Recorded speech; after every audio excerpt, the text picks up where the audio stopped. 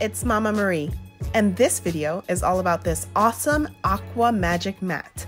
Liliana has recently become obsessed with this, and so am I because there's no actual ink or paint involved at all, which is amazing.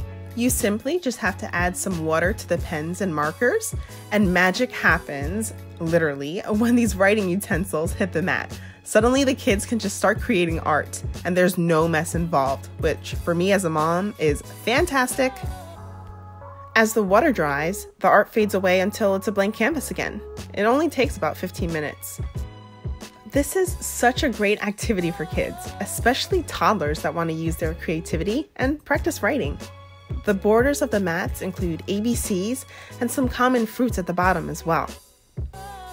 The accessories included are also pretty great. There are six different sizes of pens and markers, different shapes to trace, as well as stencils and stamps.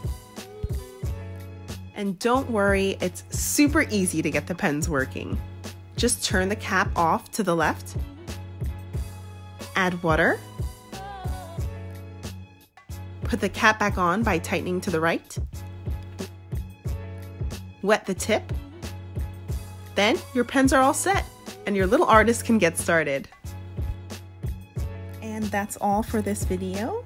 Thanks so much again for watching. Please be sure to subscribe to our channel and also click the bell for notifications.